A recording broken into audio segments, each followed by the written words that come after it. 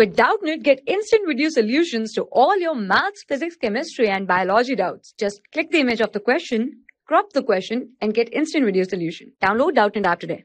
Question is, after deducting 4% of a bill, the amount still to be paid is rupees 1488. So how much was the original bill?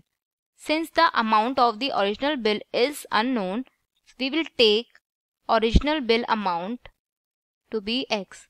Let original bill amount be rupees x, right? And since 4% of the bill has been deducted, so we can say that 4% of bill has been deducted from the actual bill and then we have to pay 1488 rupees. After deducting this much from the actual bill, we have to uh, pay 14, 1488 rupees, right? So we can say that this will become x minus 4% means 4 upon 100 of means multiply and x is equals to 1488, right?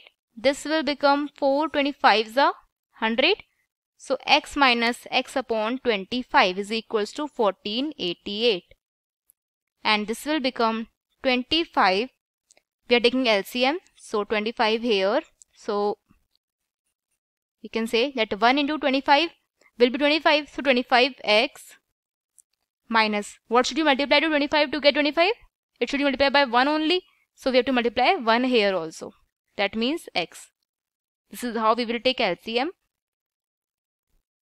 So now 25x minus x is equals to 1488 into 25 because 25 is in division here so it will be multiplied with 1488 on the right hand side. So 25x minus x will be we can see that x is having we, we are having same variable on both terms. So 25 minus 1 will be 24x. 24x will be 1488 into 25.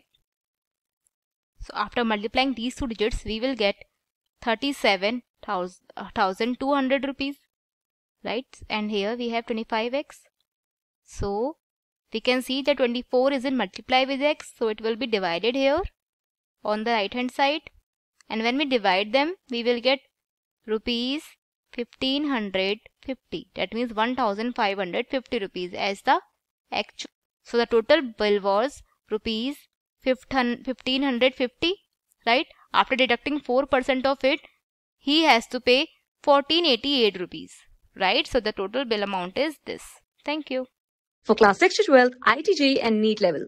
Trusted by more than 5 crore students. Download Doubtnut app today.